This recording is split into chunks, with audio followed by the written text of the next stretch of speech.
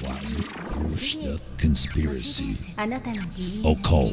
The The truth is out there. レイブとあり陰謀さあそれでははい陰謀がやってまいりましたそうですいつもの太い声のお父さんがちょっとお時間遅れてるということなのでモデルやってるらしいよ。モデルらしいんですよ。嘘みたいなあ話だよね。のなんかえーっと悪口じゃないですけどなんかジジイとかっていうなんか なんかそういうところでモデルをやられて。そのシニア層をターゲットそうにしたそうそう言いね方が上手だから俺だけが悪者みたいな感じになるでしょ。もう最近なんかね。さモデルづいちゃって。モデルづいちゃって仕事で忙しいからさ楽しくねえよとか言いながら楽しそうにやってねウますよキウキやってるもんね。ねそうなんですよ。まあちょっと遅れてます今日僕2回目なんですよ。だからアリ先生がいない時に、この間は、えー、と 440Hz の、はいはいはい。まあ、陰謀というか、うんうんうん。そういう話をね、うん。したんですけど、はい。ダサいこと言いますよ、今まで見た映画とかドラマとか、うん。えーまあ、事実に基づいたもの、うん。プラス、まあ、知ってる歴史と僕の友達の、えー経験の話をもとに、えー八景ロシア人と言われてるあの人たちの話をしようと思ってるんですね。うん。あのまあ、100年の間にあの、まあ、ロシア今のロシアっていう国は、まあ、あの皇帝が治めていてその後ソビエト連邦になって、うん。え今はまあロシアになってるわけですけど、100年の間にそう体制がコロコロ変わると、まあ、なかなかない中でうん。最初のロシア革命の時1917年とかそれぐらいにロシア革命が起こって、うん。八景ロシア人って言われてる理由っていうのは、まあ、いわゆるその赤言われてる社会主義的な考えの人が、これまでの体制を崩そうと思って、うん。まあ、えークーデターを起こしたわけですよね。でまあ貴族社会みたいなのがまあもちろんありまして、うん。そういう人たちがうん。その新しい体制に馴染めないっていうことで、まあ、ひどい迫害にあって、うん。えー自分の国をまあ捨てて亡命するっていう事態がまあ起きたんですけど、これはロシア革命ってロですか？シア革命ですよね。であの僕らの日本の文化の中にも、まあ、そこから僕らはねそれこそ100年後とかに生まれて100年後というか、まあ、その後に生まれてるわけなんですけど、普通に文化としてあの八景ロシア人と言われる方が残した文化が全然根付いてたりもうんするっていうことがあるんですよね。うん。なるほど。か分かりやすいところでいくとモロゾフっていうあのお菓子の、うん。うん。うん。あの名鑑もありますけど、うん。うん。あれもいわゆるその八景ロシア人という方がこう日本に亡命してきて、うん。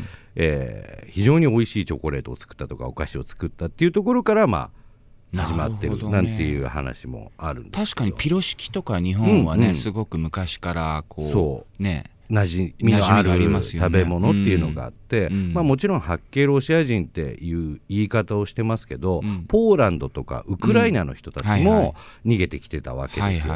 でも、えーまあ、総じてというか大きく八景ロシア人という言われ方をしてるわけなんですけど、うん。亡命してきた、えー中で有名な人でいうとスタルヒンという、うん。北海道にスタルヒン球場っていう巨人の選手だったんですけどね、うんうんうん。ジャイアンツの選手、うん。彼も八景ロシア人、えーの方で日本でその野球選手として活躍をしたんですけど、うん。まあでも実際最後まで日本の国籍はないまま、うん。亡命者として、まあ、生涯を閉じたりするなんていうことがあったりするわけなんですよね。日本はなかなかねその国籍の取得は非常に難しいですもんね。そうなんですよね、うん。だから今の時代でも移民を受け入れるとか受け入れないっていうことっうんて結局100年経った今でもそのロシアだけにとどまらずいろいろあるわけじゃないですか、うん。人種が、えっと混ざっていくというか、うんうん。だからでもそのルーツというかもっとそういうのってあってでも100年経ってくると日本の中にその八景ロシア人の方が持ってきた文化も根付いているんだなっていうところにまず気づいたりするわけなんですよね。で戦争の当時満州という国をまあ日本が治めていた時に、うん。日本に来るっていうチョイスもあったんですけど満州に逃げていくうん。方もいて、でえこれがモロゾフの方だったかどうか僕はあのはっきりは覚えてないんですけどやっぱりそこで美味しいお菓子とかチョコレートをうん。作ったっっていう、えー説もありますし日本の、えーまあ、神戸の方だったかな,、なんかでそういうものが広がっていったっていう話もあったりするんですけどね、うん。だから人によってまあもちろんその悲惨な末路をたどる人もいれば、そういうふうに文化として根付かせたことで成功した人もいるっていうところこれ。は要はその、うん。あの亡命した人たちというのは、うん。そのロシア革命があった時に要するにロシアの肯定派うんの人たちっていうことですよね。新しくその、えーまあ、社会主義国家にこうなっていくわけだけど、まあ、そのスターリンのやり方とかに、うん。えー準じできない、人たちがね、または命を狙われていた人たちということですよね。うん。また、えー、と財産を持っていた方がそういう考え方に反対している人が多かったので、うん。多くの財産やうん。財宝を持って逃げたっていう話も、まあ、たくさんあるんですよ。まあ確かに財産あったら社会主義国家嫌だよね。嫌だからね。全部没収でしょだって。だからそれで亡命していく記者の中で、うん。毛皮を着たご婦人が、うん。いわゆるその一般的なね、うん。暮らしをしている方々に、うん。ひどい目にあって棒で叩かれてる姿を私は逃げる記者の中で見たとかうん。っていうなんか証言もまあ残ってたりするんですよね。だから日本の中でも昔家族貴族制度っていうのがあって、だから似たようなものはあるんだけど、それまあ結局廃止になって、うんうんえーまあ行くわけなんですけど。第二次世界大戦そう後ですよね。そうそうそういうことなんですよ、うそれがまあ文章として、まあうん。えー文学的なもので残ってて「社用」っていう、えー日本でいうあの本があるんですけど、うん。その本の中でも非常にこう貴族制度の中でいた上品な女性がスープを飲む姿が美しいっていう描写があったりとかっていうな、うんうんまあ、その頃懐かしむようなものがあったりするんですけどね、うんだからなんか今の移民の制度とそれが本当に合うのかっていうのはまた違うことではあるんですけど、100まあ今この段階でもね100年経つと結局文化として根付くものも多くあったのも確かなんだよなっていうね、うんうんうん。気はしてるんですよね。うん。ただその満州国にこう、まあ、結果不幸にもこう亡命された方の中には、まあ、その当時軍が仕切っていた中での犠牲者になられた方もうん。いるっていうのが、まあ某放送局が放送していたリコーランっていう、うん。まあ、日本人なんですけど、はい。あの日本人なのに中国のリコーランっていう名前をもらって活動していたことで処刑されそうになった歌のうまいタレントさんなんですけどもね、うんうんえー彼女を助けたのがいわゆるその白系ロシア人で逃げてきた、えー家族の方たちだったっうん。ていうのがあるんですよ。なるほど。で戦争が終わってどうにかそのリコーランだった人がその家族を探してうん。あのロシアを訪ねるんですけどうん。会えたんですよ。うん。でも他の家族の方はまあちょっと疑わしいことで亡くなっていてうん。でも自分は助かったのにその白系ロシア人の方がそういう目に遭っていたことに手助けできなかったっていうことに対して、うん。その方はこうなんていうんですかね。こう非常に申し訳ないような思いっていうのがドキュメントで流れてたのもあったんでね、うん。なんかこう思うところがあったんですけど、うん。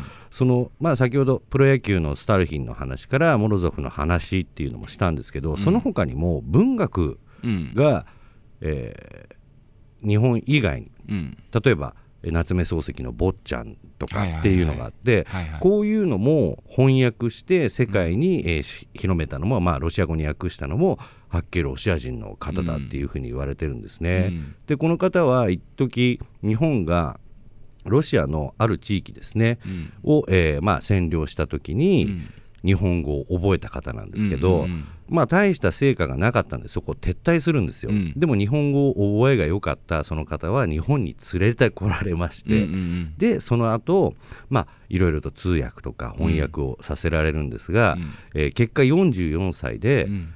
いろんな機密を知りすぎたということで暗殺されたんじゃないかっていうのが、まあしかも大連というね、うんうん。えー土地で殺されていたなんていう話もあったりするんですが、これ日露戦争の後日露戦争の時ですよね、うんだから川端康成、えーとか谷崎潤一郎の本が素晴らしいということを理解して世界に広めようって思ったその文学的なものを、っうん。ていうことをしてくれたのも、うん。要はその白系ロシア人の方だったっていうふうにはね、うん。言われてるわけなんですけど、うんだからどうなんですかね。その先ほども出ましたけど財宝の話。はいはいはいはい。これが僕の友達の話につながっていくんですけど、えー彼女は女の方な女性の方なんですけど彼女のお父さんはいわゆるその、まあ、ハーフの方で、彼女はクォーターになるんですが、そのおじいちゃんが要はその亡命してきた方なんですよね。うん。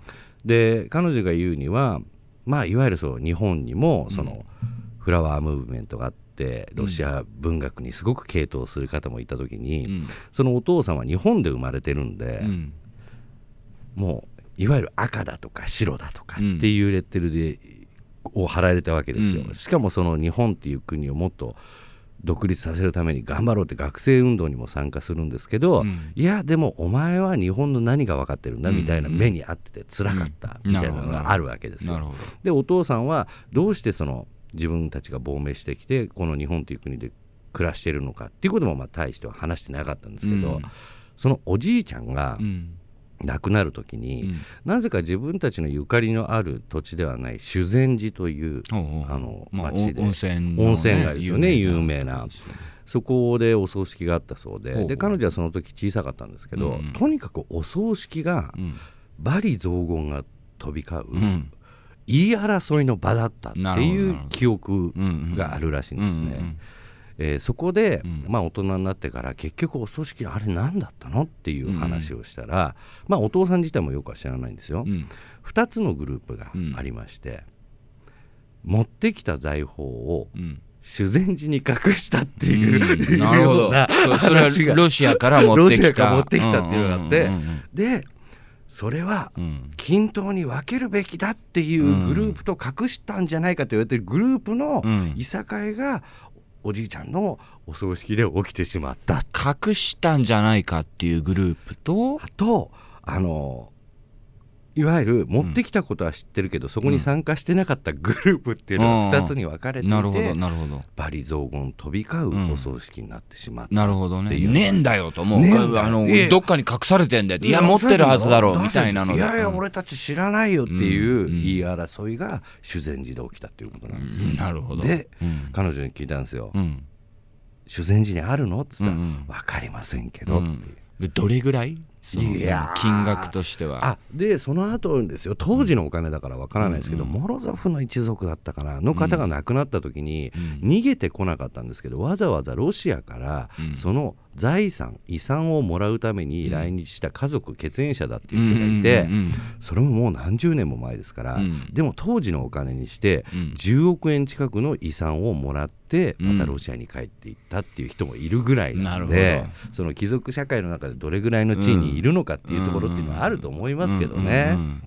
まあ。まあでも10億クラスの10億。クラスい今のお金にしてってことですよね,、あえーとその当時のお金で10億だっていうふうに当時のお金で10億やったらもうだって1そう兆円とかなんかそういうさもう国家予算レベルののお金なんじゃないかとも言われていて。だからそういう話を聞くとまあだからそのね人のお葬式の中でこう罵詈雑言飛び合うその言い合いが起きるっていうのってまあない話じゃないのかなっていうのはあるんですけすど。ごいですね。それじゃあまだ修善寺に埋まっていくかもしれない埋まってるんじゃないかってだからまあ修善寺って響きだけでもいいんじゃない、うん。えなんだあそこにみたいなところがあるし、うん。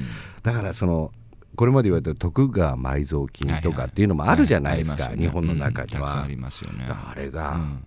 実際に本当にあるのかどうなのか、うん。だから徳川埋蔵金だけでも出てこないのに、うんこれにうん。亡命してきたロシアの方々の財宝がどこかに隠れてるかと思うと、うんまだまだ人生捨てたもんじゃないなっていう気がしますけどね。まあだからあれですよね、財産は残すとうん。いろいろ面倒なんでみんな使い切りましょう。っていやいや 本当にねそうういうふうには思うよね、でもたあの例えばじゃあ日本でそのいわゆる亡命してきた白系ロシア人の方々がどう生計を立ててたのかっていう話をすると、全部の人がうまくいったわけじゃないしそのモロゾフなり、うん。うんスタルヒンもそうなんですけど、まあうまくいった中の一握りですよね。でただ日本人がバレエを、えー習ったのもやはりこう白系ロシア人の方バレエの母って呼ばれてる、うん。名前ははっきり覚えてないですけど、うん。うんうんその方が来て文化としてバレエを広めたとも言われているし、うん。そのスポーツに関してはスタルヒンだし、そのお菓子とか食文化に関しても、うん。うん。えーまあ、モロゾフとか、うんうん。そういった方々がやっていて、うん。でさらにはいわゆる着物が普段着だった文化から、うん洋服にこう転じていくときに、うん。洋裁関係の仕事に従事していた方も相当多かったんじゃないかっていうふうにはなるほどね。言われてるんですようね。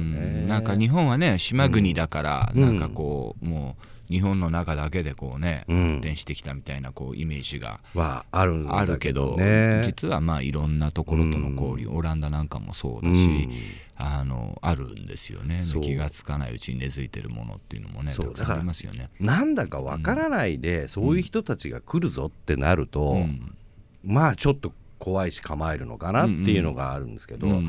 ただ自分家の隣近所に来て、うん。やっぱりこう生活してたらああそうじゃないんだっていう誤解も解ける部分が、うん。まあそれだけで片付けるのは難しいですよ、うんうん。でもまあないことはないから結局文化として根付いてきたのかなっていうことを最近のその移民問題のニュースとか見ると、この話僕のそうあちこち行ったピースを集めると、うん。まあまあまあまあこれからどうなっていくのかは歴史が答えを出していくのかなっていううん。気はします、まあ日本もねどうしてもその人口がやっぱり減っているので、これはそのあの外から人をね受け入れざるを得ない、ねうん。形にこうなっていくんだろうし世の中もまあそう向かっているというか外国の人たち本当に増えたよね、増えた。この10年ぐらいでね。だからやっぱりコンビニエンスストア行って、うん。都内のその中で働いてる人、ほとんどがやっぱり外国の方そうね。多いっていうのは、うん。うん。最初のうちはえっ？って思ったけど、うん。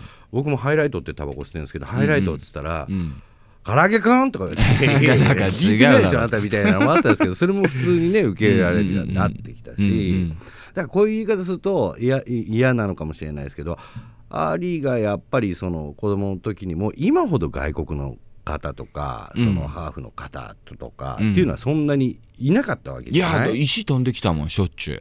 本当に？まああのそんな別になんつううんの出てけとかっていうのではなくて、うん。その子供の時ですよ本当まだうんうん。その小学生低学年幼稚園ぐらいの時だけど、うんまあ他の子供たちがうん。珍しがってね、あー。どういう反応するかなっていうこうああの虫をつつくような感じでうん。石をこう投げたりとかそういうのしょっちゅうありましたけどね、うん、だまあどこ行ってもなんかすごい見られたし、もうそういうのはもう本当になくなりましたから、あそうだようんね。珍しくなくなってね。でも昔まだ本当70年代ですよね、うん。はそんな感じはまだ日本はありましたね。ね全然ね、だから僕の住んでる府中っていう地域にもやっぱり割とそういう方が多くて、うん。全然その公立の学校にいて、うん見た目は肌がねあの、褐色なんだけど、うんあの一切に日本語しか喋れないっていう方もね、うん。いたんですけどまあずっとそういう人といると、まあ、別に普通になっていくというか、うん。うん。部分は、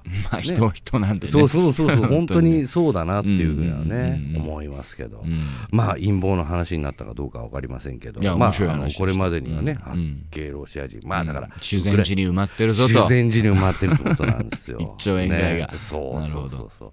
だから掘ってくれってことじゃないですけど、わかりました。はいありがとうございました。